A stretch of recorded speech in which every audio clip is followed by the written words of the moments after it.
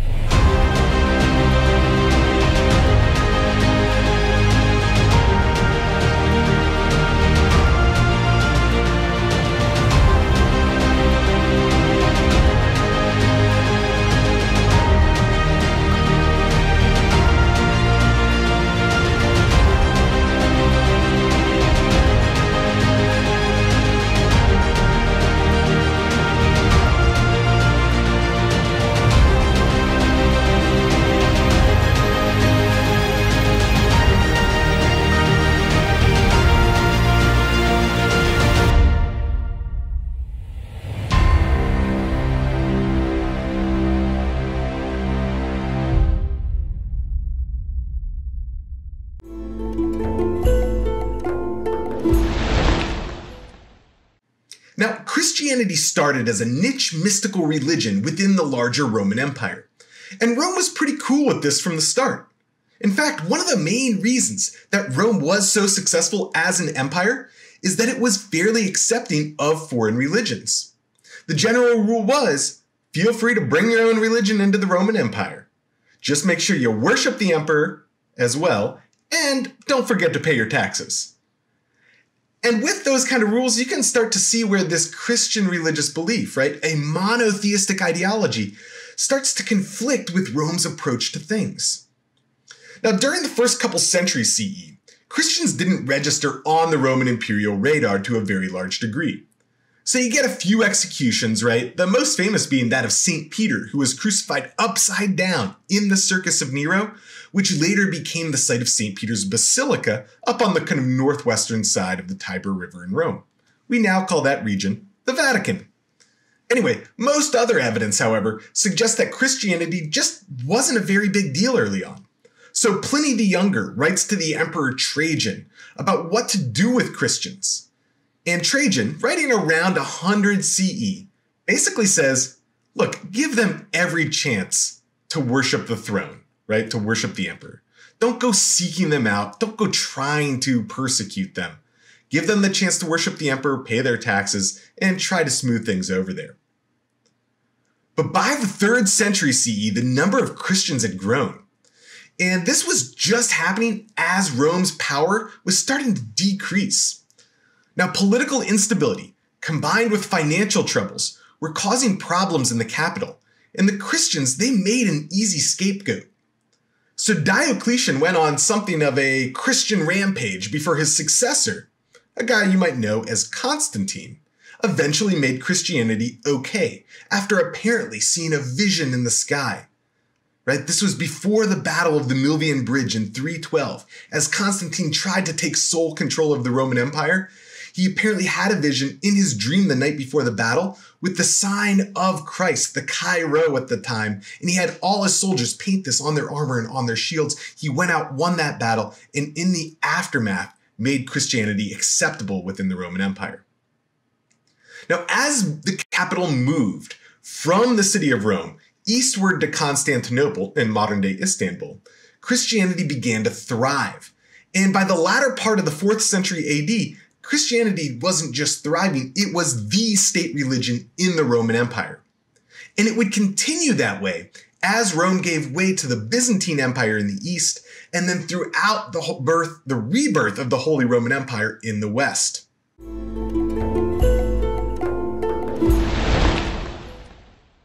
Now, as early Christians continued to defy imperial mandate, a good handful found their way into the arena to be executed.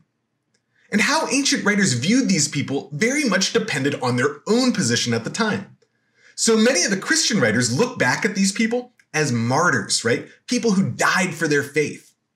While most pagan Romans at the time would have viewed this in pretty much the same way as executing any other criminal in the arena usually at lunchtime between the beast hunts in the morning and the gladiatorial games in the afternoon. Just another way to entertain the masses. The Romans, as we just mentioned, didn't pay much attention to Christians for almost like 200 years or so at the beginning of the development of that faith.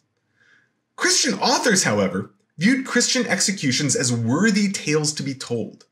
But often, these were recounted centuries after the death of the martyr, and certainly with a very deep religious bias. And it wasn't just the executions that kept early Christians from the games. The Christian author Tertullian, writing around 200 CE, called the games idolatrous, right? Meaning that these spectacles led to the near worship of fighters, in battles, in violence in the arena, clearly incompatible with the idea of worshiping a single divine being. So it wasn't just the violence they condemned, it was that the spectacles took their focus away from that one God and salvation. Now, Greek sport was to an extent more acceptable to early Christians. Jesus was part man after all and had an earthly body, and we do see mentions of working out and training within Christian literature. And despite Christian attitudes towards the games, the spectacles themselves weren't really affected for those first few centuries of our era. And it's a little weird how well informed Christian writers seem to be about the games, right? When they write about them, they seem to know quite a lot, so perhaps they attended a few more than we're made to believe. Now, it's not like Christians were the first monotheistic religion in Rome, and they weren't the first monotheistic religion Rome had to deal with.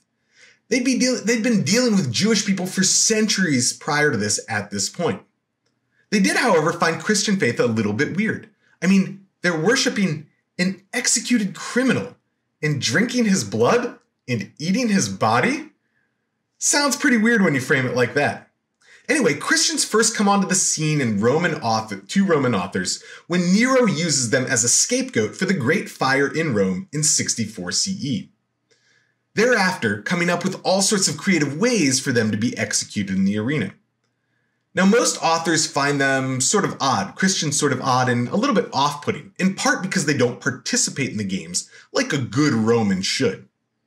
And Nero's persecu- uh, persecution was the exception rather than the rule. We already talked about how Pliny the Younger's letters to the Emperor Trajan show Romans preferred to really kind of just not deal with Christians you know, have them make sacrifices to the imperial cult to show that they are indeed Roman, and then just let them be. But by the 3rd century AD, however, right, Christians had grown somewhat in numbers and increasingly bore the brunt of imperial persecution. Things weren't going great for the Roman Empire during this time, and Christians, they just made an easy scapegoat, right? Especially when they refused to sacrifice to the imperial cult.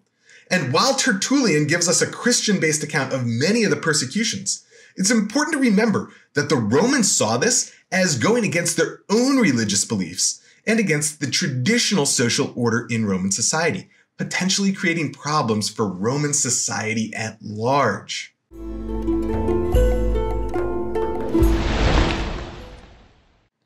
So let's take a look at a few of the famous martyrs from ancient Rome. So, first up, we have the martyrdom of Blandina at Lugdunum, modern day Lyon in France, quite a delightful city. although not for Blandina, apparently. Anyway, this happened in 177 CE. So her story is recounted by the Roman historian and Christian historian Eusebius, writing in the 4th century CE, about 150 to maybe 200 years after the death of Blandina. Now, Blandina was part of a group of Christians executed in the arena. They were tied to posts to have wild animals set upon them, right? Remember, we called this the damnatio ad bestias. But the animals wouldn't attack Blandina, not until they exposed her to a bull who did then eventually kill her. I guess her luck ran out there. Anyway, the bodies were left there to be eaten by animals, and then burned, and then thrown into the river to prevent resurrection. Really a harsh way to uh, treat Christians at the time. Several decades later, we have the martyrdom of a woman named Perpetua, a woman from Carthage in 203 CE.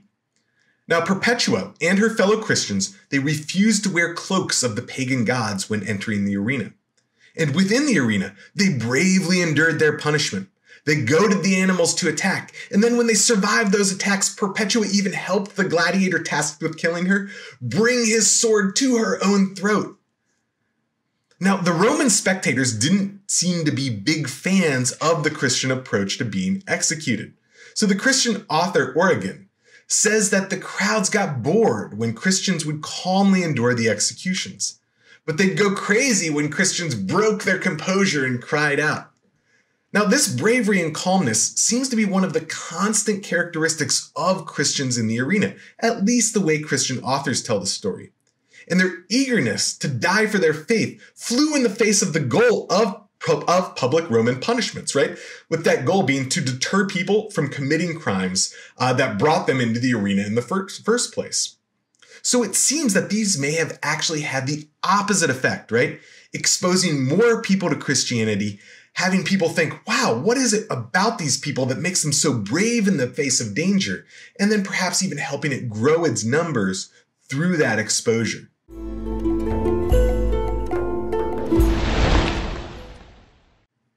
While it's tempting to think that the game simply disappeared as a moral mandate once Christianity took over the Roman Empire, well, that simply just wasn't the case.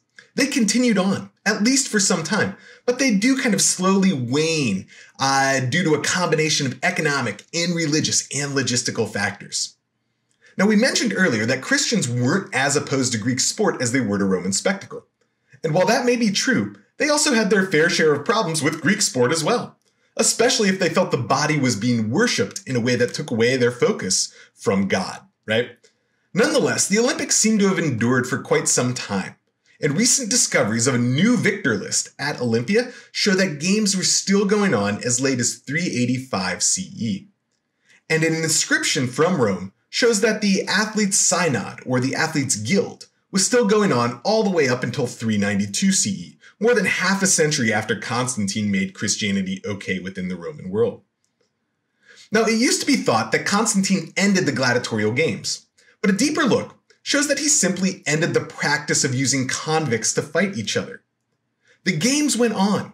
The Emperor Honorius supposedly closed the gladiatorial schools in Rome in 399 CE, and then he's the one who actually ended the games in 404 CE. But once again, even after that date of 404, we still have some evidence for games continuing, at least in the western part of the Roman Empire, for decades longer after that. Eventually, however, the combination of religious and economic problems did bring an end to the games. Now, Romans didn't really have a problem with the beast shows, right? The killing of beasts. At least when the beasts were fighting beasts or men were fighting beasts, right? Not when beasts were eating people. Uh, so they didn't have a problem with those in the same way they had a problem with the gladiatorial games. The problem, though, is that Rome had been putting on these beast shows for hundreds of years at this point, killing thousands upon thousands of wild animals. And now those animals, well, obviously they were becoming harder and harder to find. You couldn't just go round up 400 lions anymore as easily as you could 300 years earlier. Nonetheless, these beast hunts did continue into the 6th century CE. One of the cool things is that it looks like the beast shows actually changed by the 6th century CE as well. So rather than hunting the beasts, archaeological evidence suggests that it was more akin to like bullfighting without the actual fighting. So athletes would sort of bait the animals, right? Tempt the animals, get them to charge, right? Imagine a matador with a red cape. And then at the last minute, they would leap out of the way using poles or ropes or baskets or other mechanical devices. So it's kind of interesting how this harkens back to the bull leaping. If you remember at the beginning of this course, right in the Minoan bull leaping, it kind of see like seems like we see a almost reemergence of that sort of acrobatic approach uh, to beasts in the arena. Uh, and it also kind of looks forward then to the bullfighting of modern Spain. An interesting connection between kind of looking backwards to the past and forwards uh, to the present.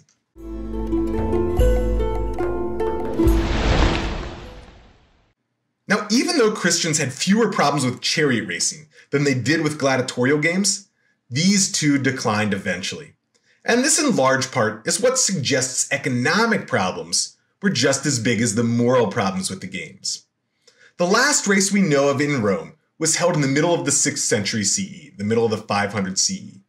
But in the East, in the Greek East, right, it appears that chariot ra- racing lasted all the way up until the 11th century CE, right? The 1000 CE was still going on. And there, it still served as a place for factions, right? Remember the different chariot racing teams to publicly view and address the emperor in Constantinople, who had, once again, his own private box at the games. Now, spectators seem to have been rather more violent in watching the games in Constantinople. And we have evidence for fights breaking out amongst the factions, just like a modern day soccer game. There were a famous set of riots, the most famous set, known as the Nika riots in 532 CE. Now, one suggested cause of this riot was the tension between the blue and the green factions. It might have actually arisen out of competition between these two, uh, especially because the emperor was supporting the blue faction. You know, another uh, take on this says that it was the massive taxation levied by the Emperor Justinian, who uh, may have also had something to do with it. Anyway, after six days of chaos, the emperor and his army killed about 30,000 people in order to bring this riot to an end. And so, with the rise of Christianity, we do eventually get the decline of ancient sport and spectacle as we know it. But it wasn't clear cut and immediate, right? Eventually, religious values, issues of scarcity, and economic problems, they all contributed to bring the games to an end. And with this end, we also see the end of classical culture more broadly, right? The Greek and Roman way of doing things, the Greek and Roman culture that we get in the classical period in the Roman Empire, right? What we get our word classics from, those things eventually dissipate over time and give way to a new Christian way of doing things. So, whether they knew it or not at the time, the legacy of sport and spectacle in the classical world and what that left behind would flourish once again in the modern world, right? From the rebirth of the ancient Olympics to the 100,000 100, plus fans at a football game, right? To races around mile long tracks with motorized chariots, right? We call cars, uh, we seem just as enthralled by this sort of competition and spectacle as the Greeks and Romans were centuries and millennia earlier.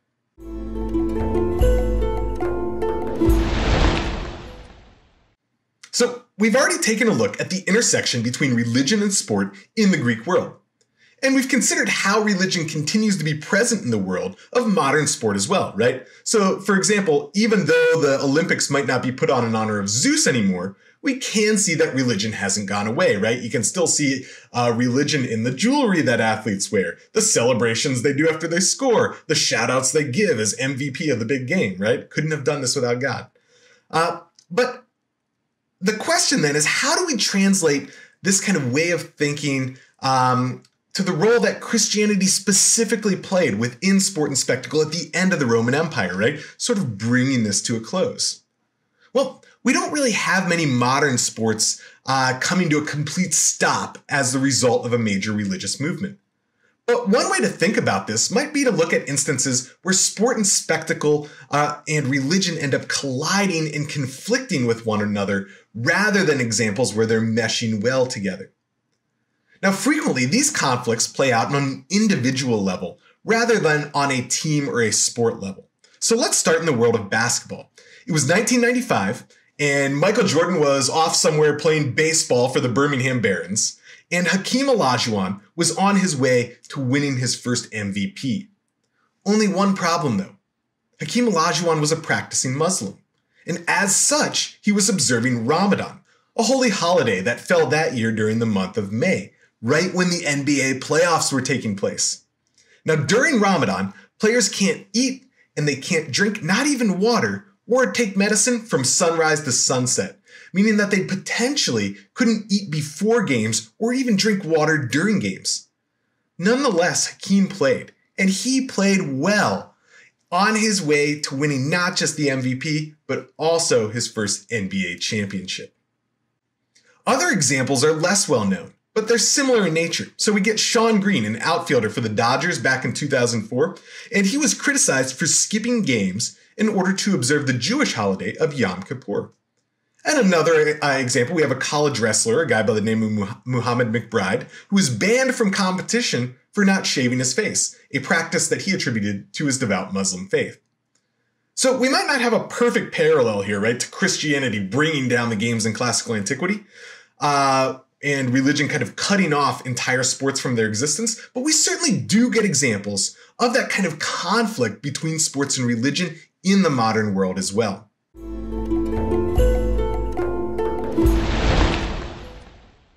All right, you have made it to the end of another episode. And in today's lecture, we have looked at the evolution of sport and spectacle in the latter part of the Roman Empire. And we've seen that the growth of Christianity, right? Once this fledgling mystery religion, just a tiny little thing on the outskirts of Rome's Eastern Empire, it eventually brought both the gladiatorial games and Greek style athletic events, including the Olympics, to a complete halt. Nonetheless, spectacle persisted, and chariot racing was more popular than ever by the reign of Justinian in the 6th century CE, 200 years after Rome moved its capital from Italy to Constantinople in modern day Turkey. And it would remain popular for another five centuries until the 11th century CE. So, next time you get a major cultural shift, don't sweat the small stuff. Make sure to adapt and keep those chariot wheels rolling. Just a couple lessons you can learn from Christianity and late Roman spectacle.